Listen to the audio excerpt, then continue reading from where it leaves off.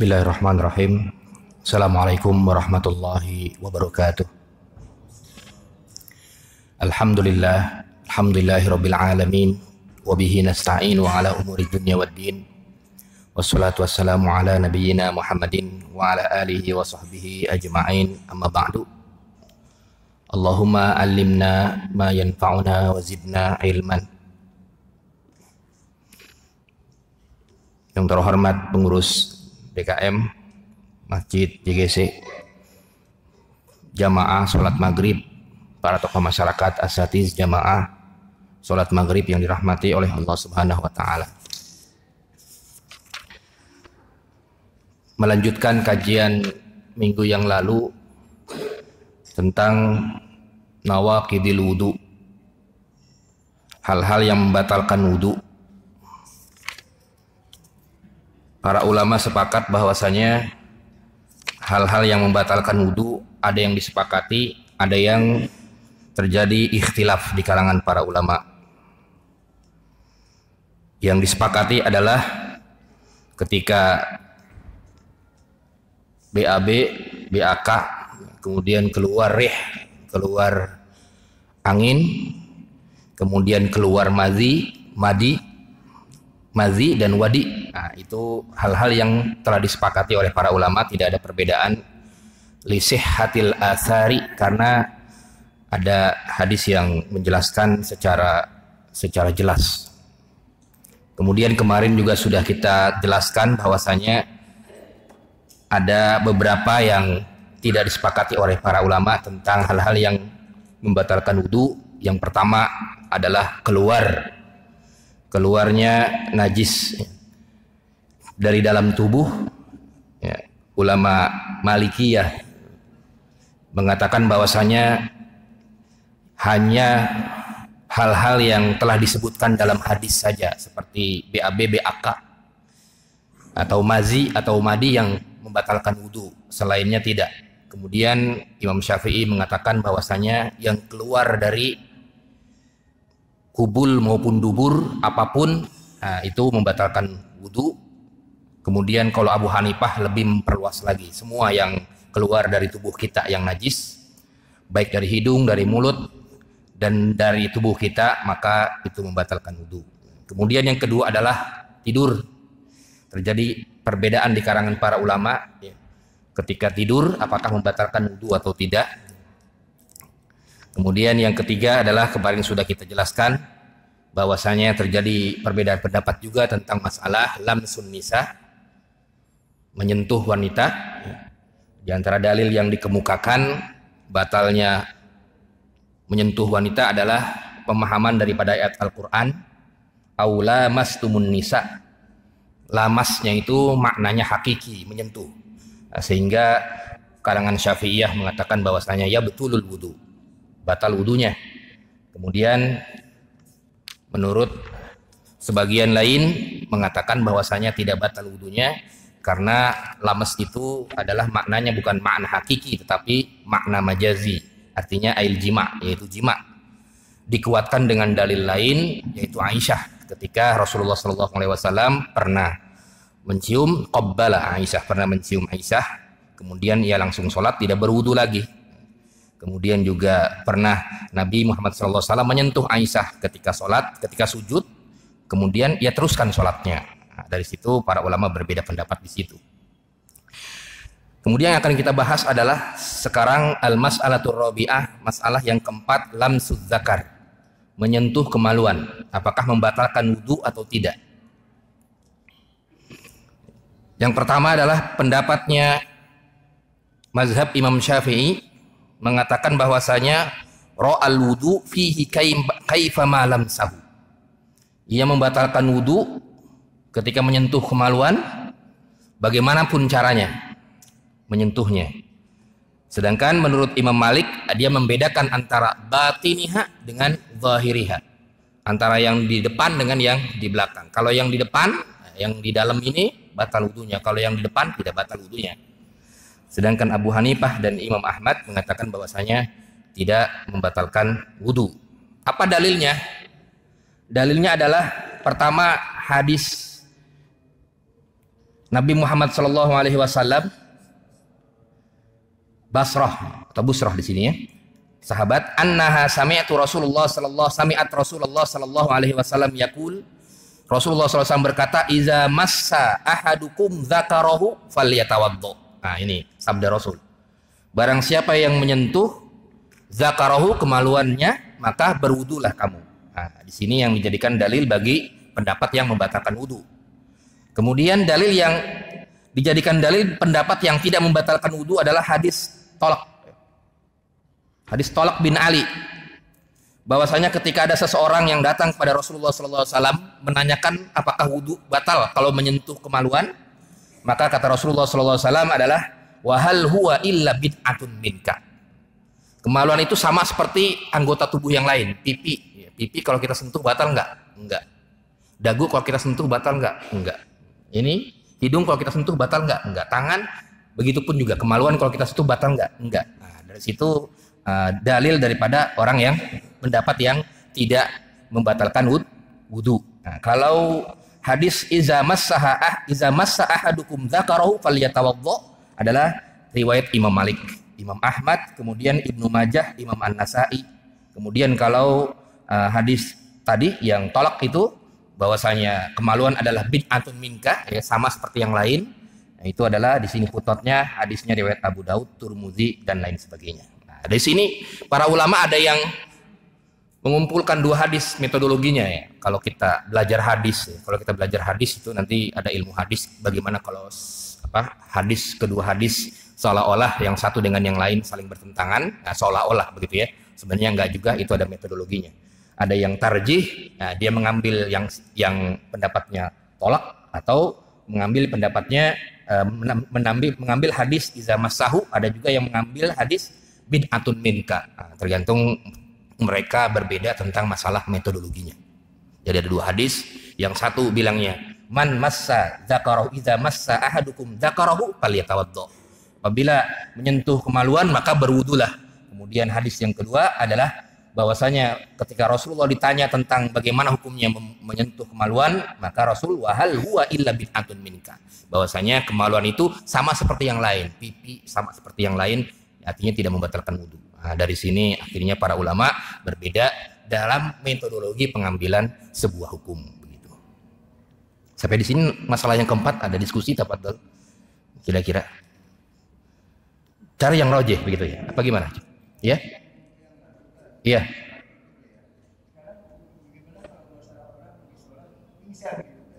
Lagi sholat, pingsan ya batal sholatnya. Kemudian Ya, pingsan itu al, uh, al, al, al mugmiya alaihi namanya ya. Orang yang pingsan itu apakah disamakan dengan dengan apa? Dengan tidur atau dengan karena dia uh, apa? Apakah disamakan dengan tidur atau tidak? Yang jelas nanti di depan ada itu ya tentang masalah uh, pingsan itu ya. Iya ada di depan itu ada di depan nanti ada. Ada di depan. Jadi masalah yang ketujuh nanti ada. So. Iya, iya Pak Ji.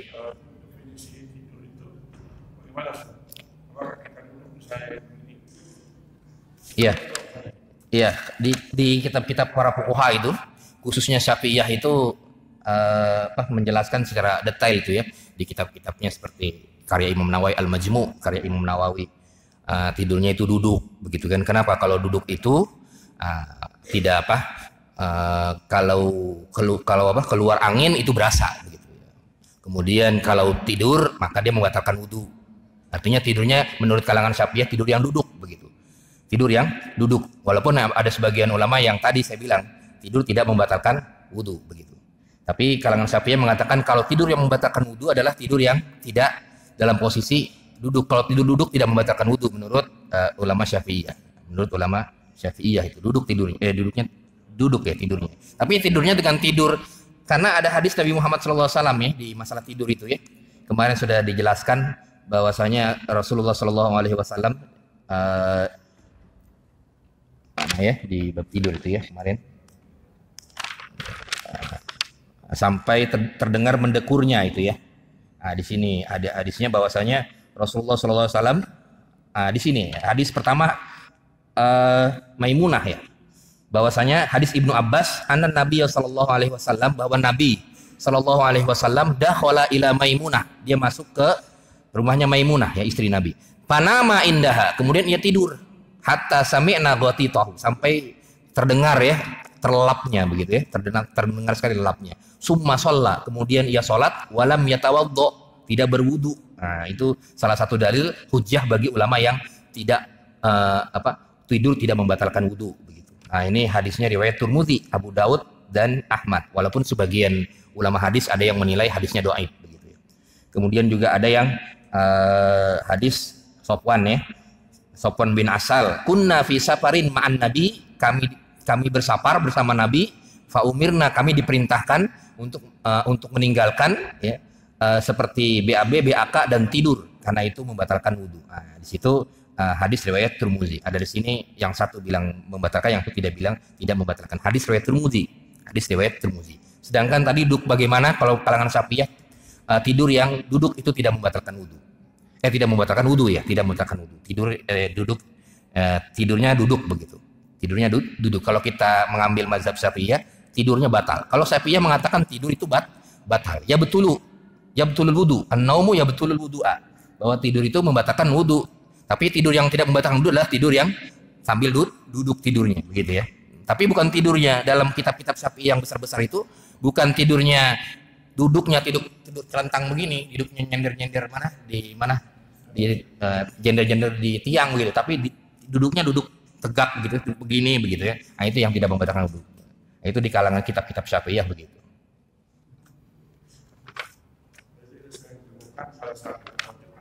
Iya, iya pada sholat Jumat kan banyak yang tidur itu ya. Banyak yang tidur. Tapi kalau tidurnya ya, tidurnya itu tidur, tidur. Ya itu nanti kembali ke pemahaman sholat Jumat itu nanti ya tidur. Ketika sholat Jumat banyak yang tidur juga ya. Padahal sebenarnya diusahakan tidak tidur ya. Karena in situ harus mendengarkan mendengarkan apa? Mendengarkan khotib sejang khutbah itu. Ya, ya tidak boleh tidur sebenarnya. Ya. Benar-benar tapi ya bagaimanapun juga manusia ya. Manusia itu ya kadang-kadang ya, terkena terkena tidur juga begitu ya. Terus nanti kemudian timbul permasalahan batal nggak wudhunya. Dari sini ulama berbeda pendapat. Kemudian yang selanjutnya al-mas'alatul khamisah, masalah yang selanjutnya adalah Ikhtalafa sadrul awal fi ijabil wudu min akli ma mashat hunnar. Ma mashat hunnar. Para ulama berbeda pendapat ketika memakan makanan yang terkena api. Apakah batal wudhunya atau tidak yang dibakar itu? Ayam bakar, ayam goreng, ya kebanyakan api lah begitu. Apakah batal wudhunya atau tidak begitu? Nah, karena ada hadis riwayat Muslim, al wudu'u mamasat hunnar. Bahwasanya kita harus berwudu kalau kalau apa? Kalau memakan makanan yang uh, dibakar gitu ya, yang terkena api begitu ya, dibakar itu. Nah, itu ada riwayat Muslim, kemudian uh, ada juga riwayat lain, kemudian ada juga riwayat Turmudi, ya, Abu Daud ya, dan Nasai yang mengatakan tidak batal ya. Dari Jabir bahwasanya annahu qala kana akhirul amrain min Rasulillah sallallahu alaihi wasallam tarkul wudu mimma mashatun nar. Di akhir-akhir hayatnya Nabi Muhammad sallallahu alaihi wasallam bahwasanya Rasulullah SAW memutuskan tidak berwudu ya ketika makan makanan yang terkena api itu. Nah, di sini yang dijadikan hujah. Dijadikan hujah sebagian ulama tidak berwud, tidak berwudu, tidak tidak membatalkan wudu. Jadi tadi ada hadis juga riwayat Muslim dan riwayat lainnya bahwasanya kalau makan makanan yang kena api itu batal wudunya. Kemudian ada juga riwayat lain riwayat Abu Dawud Turmuzi yang mengatakan bahwasanya di akhir-akhir hayat Rasul bahwasanya Rasulullah tarokal tarokal wudhu tidak tidak membatalkan wudhu ketika memakan makanan yang terkena api. Nah, dari situ uh, akhirnya para ulama terbagi menjadi beberapa beberapa uh, beberapa pendapat ya. Ada yang mengatakan dia batal wudhunya, kemudian ada yang mengatakan itu hanya sunnah saja ketika uh, ketika kita makan makanan yang dibakar itu, makan makanan yang terkena api, kemudian disunahkan untuk berwudhu. Nah, ada yang mengatakan itu hanya sunnah saja. Tapi ada yang sampai mengatakan itu batal wudhunya. Nah dari situ para ulama berbeda gara-gara dua hadis tadi ya. Gara-gara dua dua hadis tadi. Walakin zahaba qaumun min ahli hadis Imam Ahmad wa Ishaq annal wudu yajibu faqat min aklilah mil jazur li subutil hadisil waridah bizalik. Eh, sebagian ulama di antaranya Imam Ahmad, Ishaq ya, dan sebagian yang lain bahwasanya wudu itu hanya wajib ketika makan makan onta, ya, makan daging on, daging daging onta. Nah, itu karena ada hadisnya di dalam uh, di dalam apa riwayat Muslim bahwasanya ketika kita makan aklul juzur, nah, maka batal batal wudunya. Nah, itu juga yang yang dijadikan dalil uh, sebagian oleh kalangan sebagian ulama.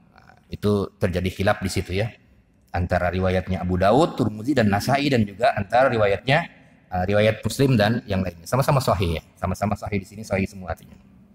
Akhirnya ada yang berusaha ulama menjamak. Menjamak itu artinya me, berusaha untuk mengumpulkan ketika ada dua hadis. Nah, ini maksudnya bukan batal wudhu tapi dianjurkan untuk berwudhu. Nah, begitu akhirnya. Dianjurkan untuk berwudhu. Ya, misalnya ketika kita makan-makan yang terkena api, eh, maka dianjurkan untuk ber, berwudhu. Walaupun kita sudah punya wudhu. Begitu. Nah, di situ ada, akhirnya ada yang ulama berijtihad seperti itu karena ada dua dalil tadi. Yang pertama bilang batal wudhunya, yang kedua bilang tidak batal wudhunya. Gitu. Sampai di sini ada pertanyaan diskusi tentang masalah eh, makanan-makanan uh, yang dibakar itu ya, makan-makan yang terkena api. Ya. Roti ya. Sebenarnya eh, sebenarnya kalau di dalam sohe sohe muslimnya itu akli juzur itu ya, daging-daging begitu ya. Daging-daging dibakar itu ya, kena api itu ya.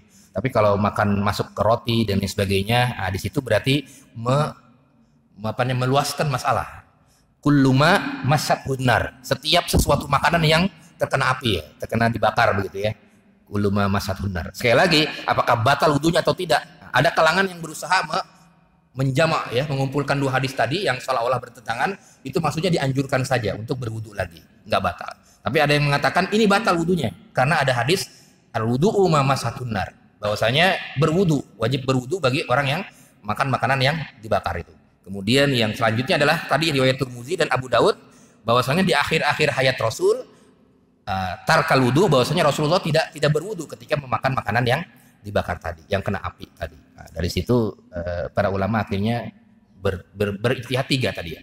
Yang pertama batal wudunya, yang kedua tidak batal wudunya dan yang ketiga adalah berusaha untuk menjama. Itu bukan batal atau tidak batal, itu hanya dianjurkan untuk berwudu. Nah, di situ dianjurkan untuk ber, berwudu. Nah, itu metodologi saja. Metodologi ketika ada dua hadis, yang satu hadis riwayat Muslim dan lain, kemudian yang satu lagi riwayat Abu Dawud, Turmuzi dan Nasai. Nah, bagaimana caranya itu mengumpulkan dua hadis itu? Nah, yang ketiga itu yaitu menjamak ya, supaya seolah-olah tidak bertentangan. Ini maksudnya adalah anjuran saja. Anjuran untuk ber, berwudu. Mustahabun akhirnya. Akhirnya mus mustahabun. Iya Pak Ji?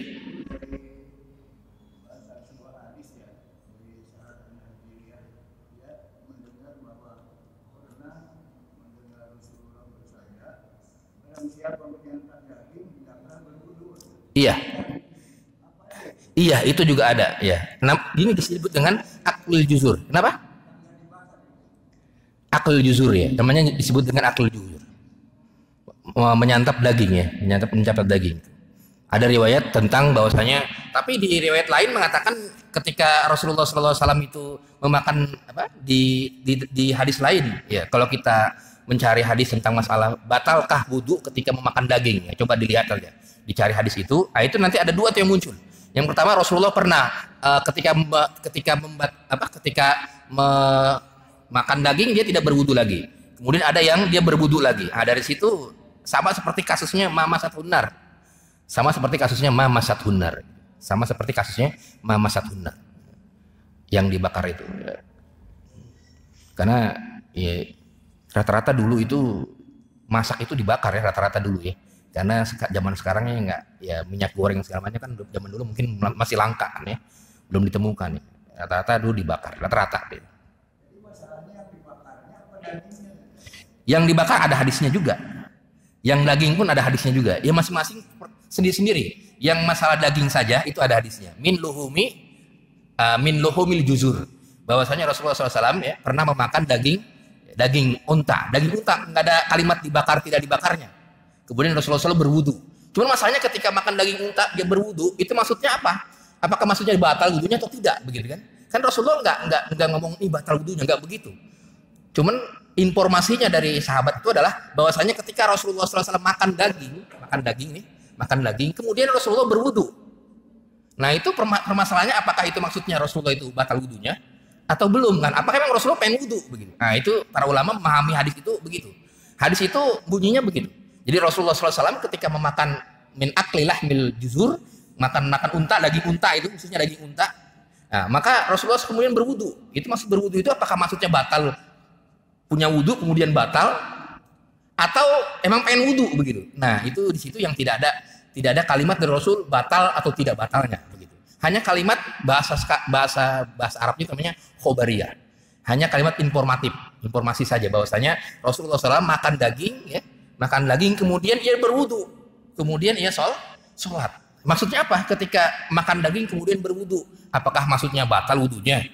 Sebelum apa? Sebelum makan daging dia wudu, kemudian dia wudu lagi atau memang pengen berwudu atau belum punya wudu sehingga berwudu begitu itu tidak ada informasinya akhirnya para ulama yang menafsirkan hadis tersebut ada sebagian kalangan batal wudunya kalau makan daging ada sebagian kalangan mengatakan tidak batal wudunya kalau tidak makan daging gitu sampai di situ. Sampai ke masalah ma hunar sampai yang dibakar itu. Sampai yang dibakar itu. Karena informatif bahasanya bahasa hadisnya informatif. Informatif itu tidak ada lapas langsung dari Rasul.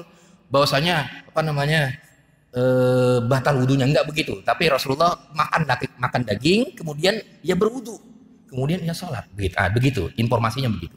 Nah, sehingga para ulama memahami informasi tersebut apakah maksudnya membatalkan wudhu atau hanya memang Rasulullah pengen berwudhu saja nah, di situ para ulama menafsirkan ya akhirnya berbeda penafsiran dari para ulama tersebut kemudian al-mas'alatus sadisah masalah yang keenam Nah, ini yang masalah yang masalah yang sedikit ini ya. Masalah tertawa. Tertawa, tertawa. Sazza Abu Hanifah. Abu Hanifah itu berpendapat bahwasanya aujabal wudu minad dhahik. Wajib wudu ketika tertawa. Nah, ini saj itu saj itu artinya uh, pendapat yang ada 100 orang, cuma satu orang itu yang yang berpendapat seperti itu. Saz, itu namanya saz dalam dalam ilmu fikih begitu. Sazza Abu Hanifah. Ya Abu Hanifah itu berbeda dengan kalangan jumhur banyak itu. Kalau jumhur mengatakan tidak batal kita ketawa. Ya, ketika kita berwudu kemudian tertawa. Ketawa kita misalnya begitu tidak batal. Tapi Abu Hanifah mengatakan batal.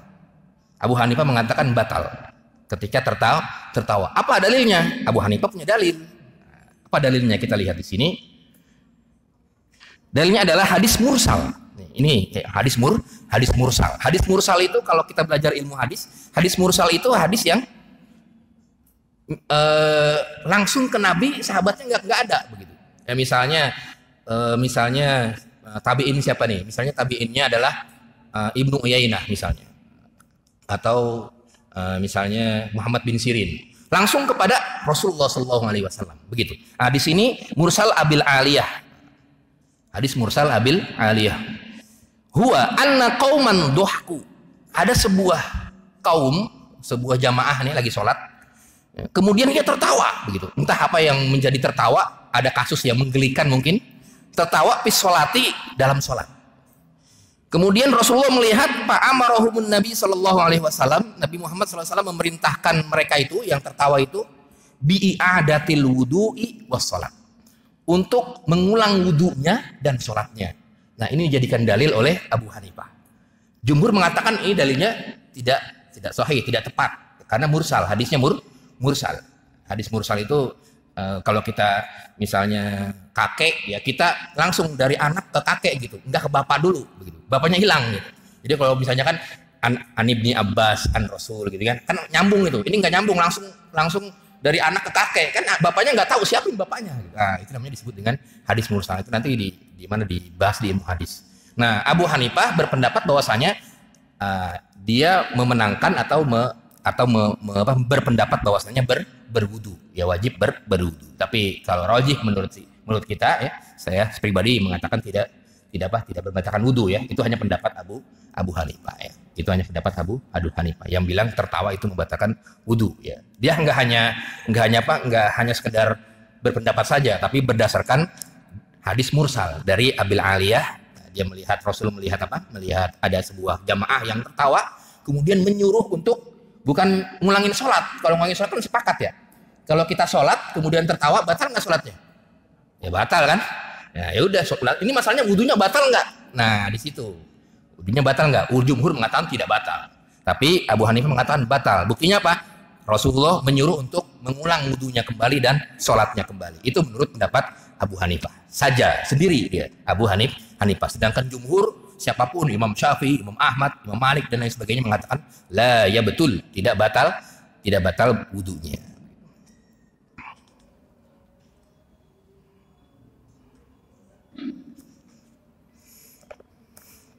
Kemudian masalah yang terakhir sebelum kita lanjut ke masalah megang mushaf ketika berwudu bagaimana hukumnya? Apakah harus punya wudu atau tidak? Al mas'alatu rabi'ah, mas'alatu sabi'ah, masalah yang ke, yang ketujuh. Wa qad sazza qaumun fa aujabu al wudu man hamalal mayyit. Ada sebagian kaum ya, sebagian ulama yang berpendapat bahwasanya wajib berwudu ketika gotong gotong mayit. Jadi kalau punya wudhu, kemudian menggotong mayit, batal wudhunya. Kemudian dia harus wudhu kembali. Nah ini pendapat pendapat sebagian ulama. Apa dalilnya? Nah, lihat ini dalilnya. Ya. Mereka punya punya punya alasan juga. Ini hadis riwayat di putot nomor 2, hadis riwayat Nasai ya. Imam Nasai, eh, Sunan Nasai, Sunan Nasai.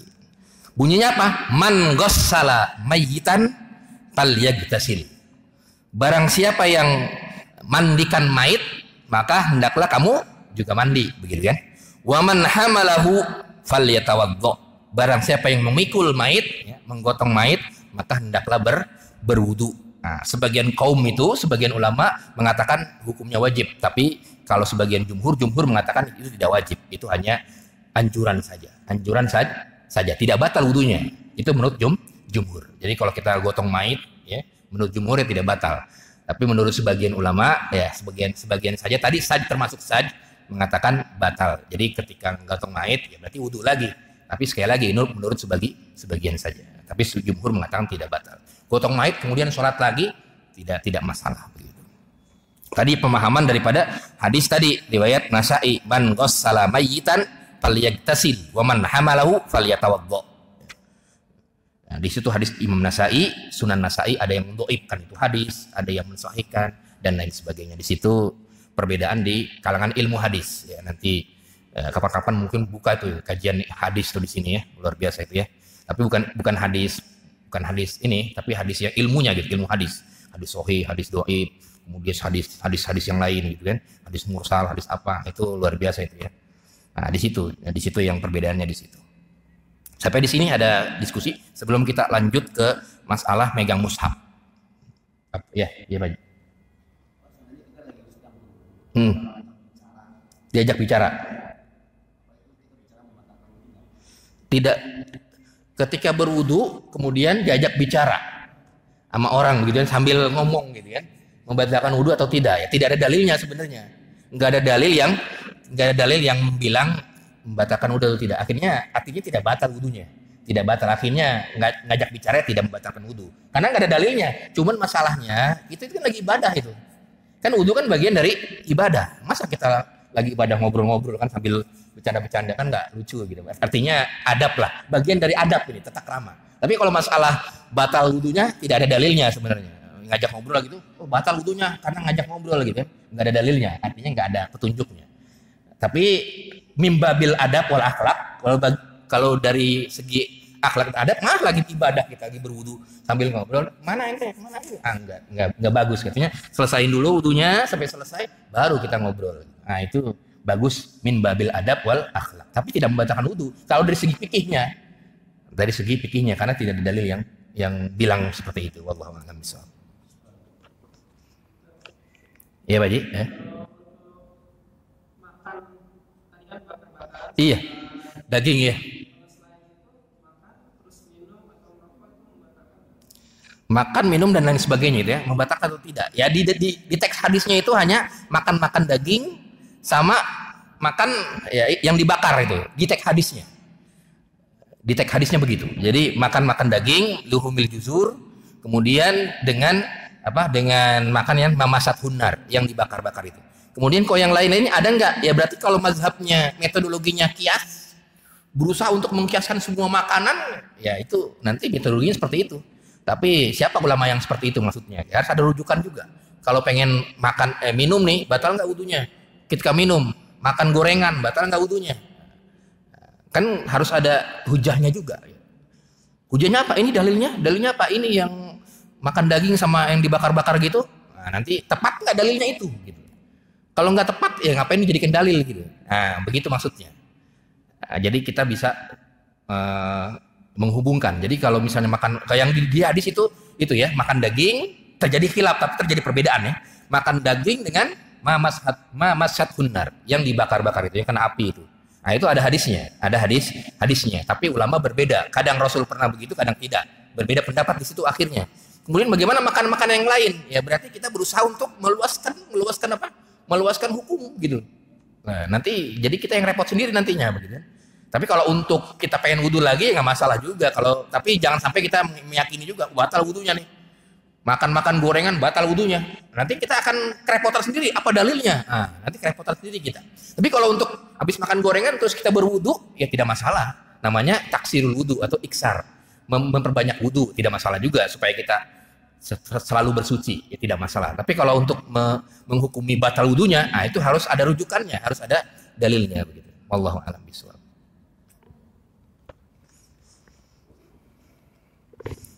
Al-babul khamis bab yang kelima tentang apa saja pekerjaan atau ibadah yang butuh wudhu begitu.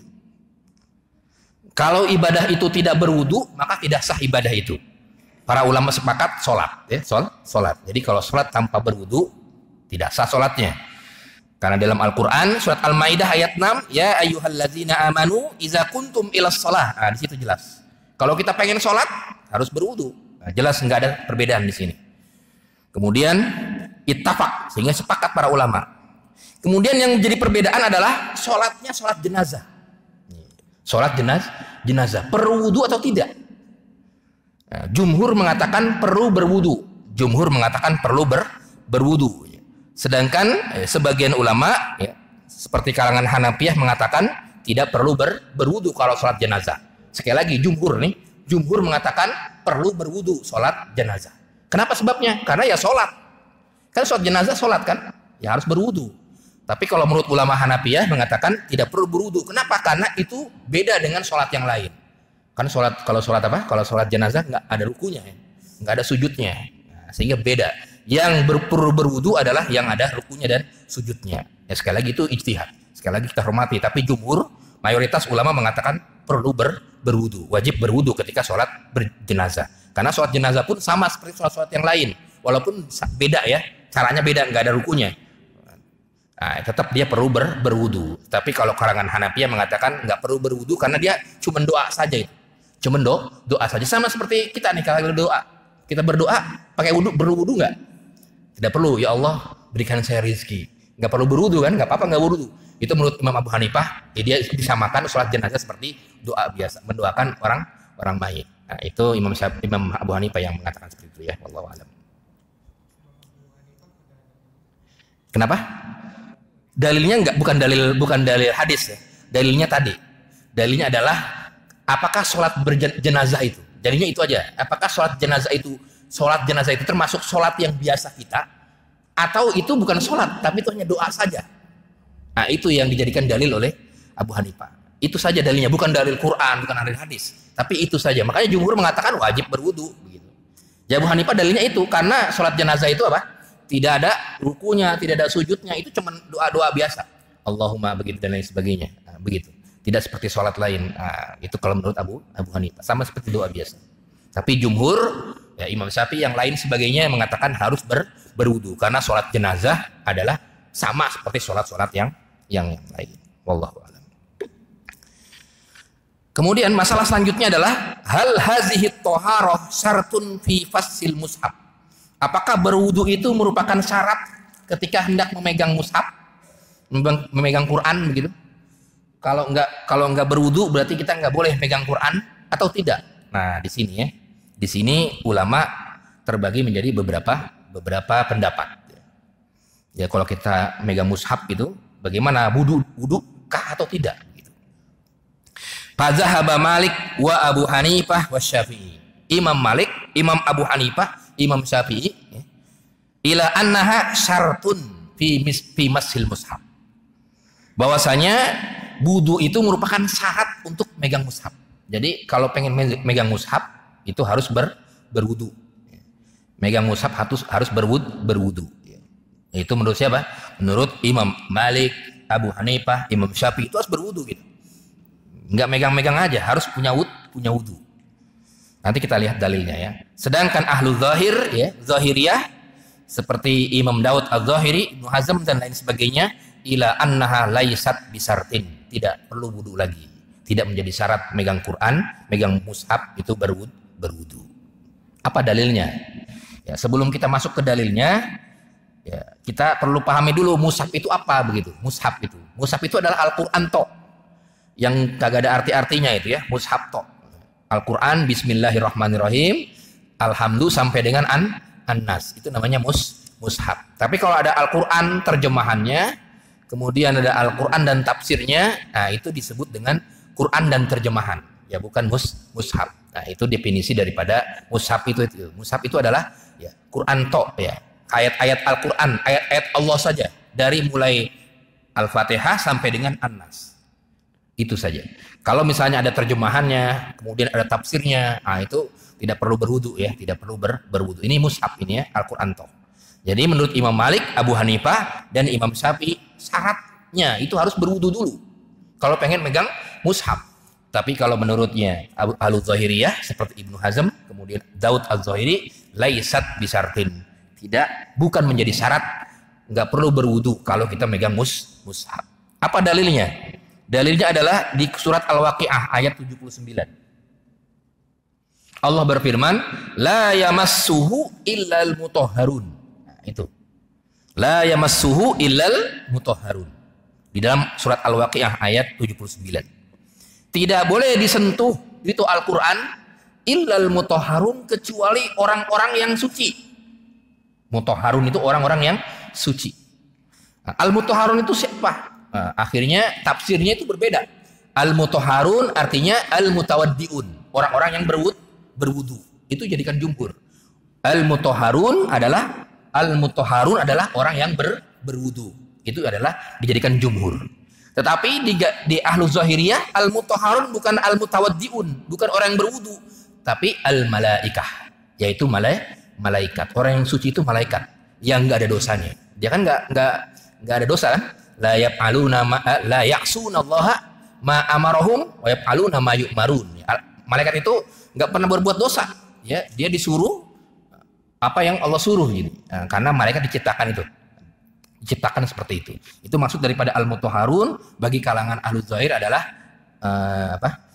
Uh, disebut dengan malah malaikat. Kemudian bagi kalang bagi Abu Hanifah, Imam Malik, Syafi'i, al-mutahharun adalah al-mutawaddiun. Orang yang berwudu. Jadi Al-Qur'an itu harus pakai harus punya wudu. Mushaf itu harus punya wud, punya wudu.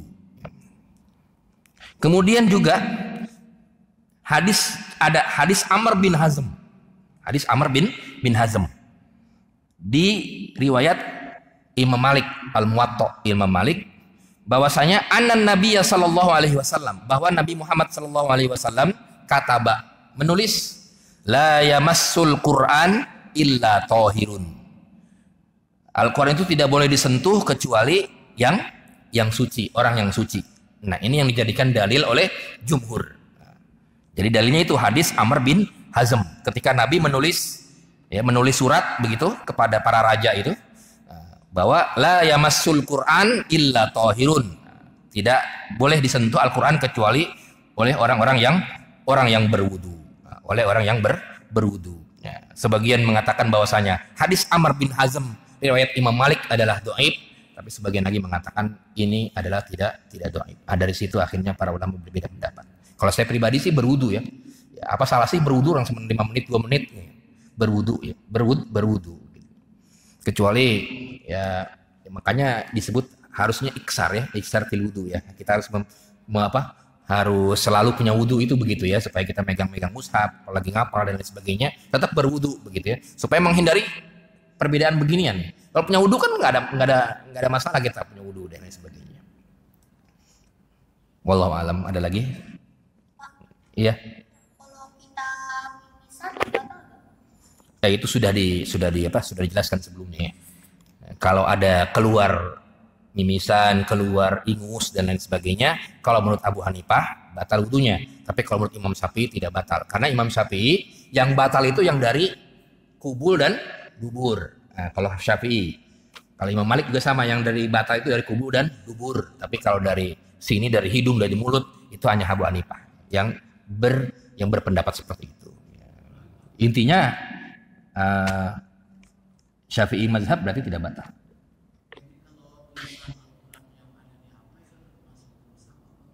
Tidak, ya, tidak termasuk mushaf dia. Kenapa? Karena HP itu aplikasinya banyak, bukan hanya Al-Quran saja. Bisa ditutup dan lain sebagainya. Tidak. Iya. Hmm. Tapi uh, bagi yang bagi kalau menurut saya saran saya punya wudhu saja gitu. Apa salahnya gitu. Tapi nggak megang megang HP-nya nggak punya wudhu ya nggak masalah gitu. Walaupun ada aplikasi Qurannya. Tapi ada juga yang berpendapat di ulama zaman sekarang itu kalau ketika buka aplikasinya berarti harus punya wudhu ketika mau ketika pengen buka saja gitu. Kalau masih tertutup itu nggak apa-apa punya wudhu. Ada juga yang berpendapat di ulama modern ya. Ada berpendapat di ulama modern. Tapi menurut saya sih kalau megang HP itu tidak perlu berwudhu ya, tidak perlu ber, berwudhu. Nggak ada dalilnya juga gitu. HP. Cuma masalahnya ada Qurannya di situ ya. Ada Qurannya saja.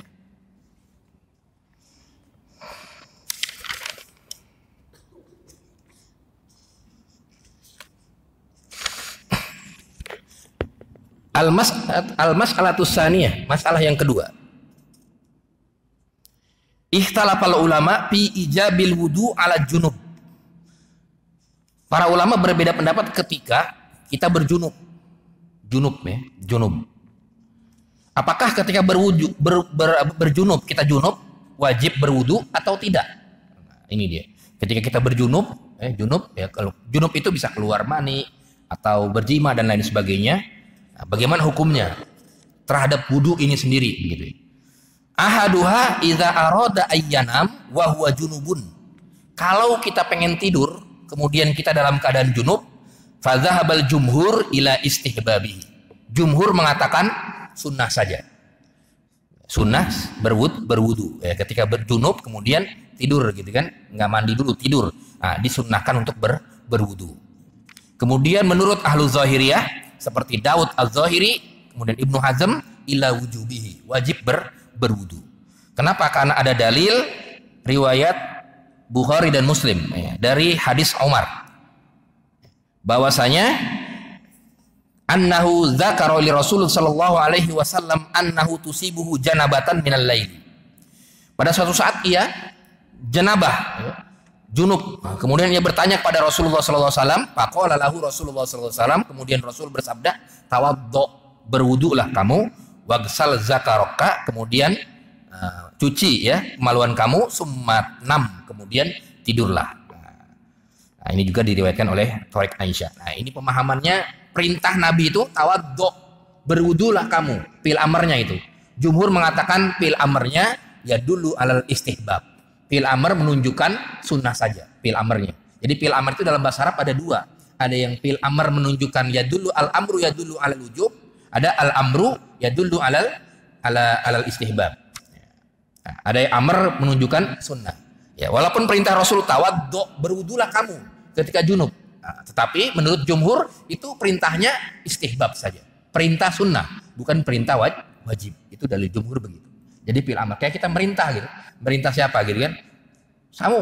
Nah, itu tergantung daripada teksnya. Jadi amr itu perintah ada dua, ada yang lil wujub, ada yang lil lil mandub. Nah, jumhur mengatakan lil lil mandub. Kemudian terakhir ya, sebelum waktu masuk Isa ya. Sudah Isa ya? Belum. Belum ya? Al Hah? Lewat empat. Wah, salah ya. Sudah Isa ya. Nanti kita teruskan babul gusel. Bab mandi wajib. Insya Allah akan akan datang kita akan masuk ke babul gusel. Bab mandi mandi wajib dan bagaimana cara mandi wajib menurut Rasulullah SAW. Aib, marilah sama-sama kita tutup dengan membaca doa kafaratul majlis. Subhanakallahumma bika asyhadu an la anta astaghfiruka wa. Assalamualaikum warahmatullahi wabarakatuh.